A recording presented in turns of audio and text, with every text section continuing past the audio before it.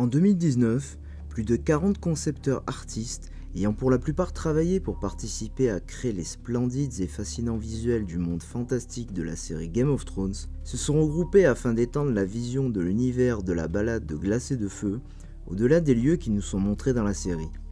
Ces œuvres, du projet Unseen Westeros, ont pour but de faire voyager l'audience dans des parties du monde qu'ils n'auraient autrement jamais la possibilité de visiter dans la série, bien que ces endroits existent bel et bien dans l'univers. Comme vous pouvez également le voir sur votre écran, le projet propose également une extension de la carte du monde connu qui délimite une fin à Essos, élargit la partie connue des côtes de Sotorios et définit une fin à Ultos.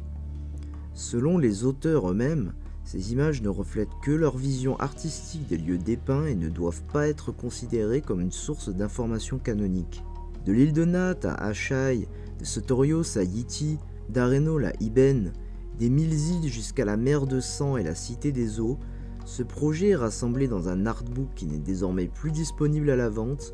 mélange vision merveilleuse et terrifiante, reflet d'un monde à la fois rempli de magie et de danger. Aujourd'hui, je vous propose de découvrir avec moi ces images et ces concept art du projet Unseen Westeros, jamais révélés sur YouTube auparavant, et de laisser votre imagination divaguer au rythme de la musique et à la splendeur des images.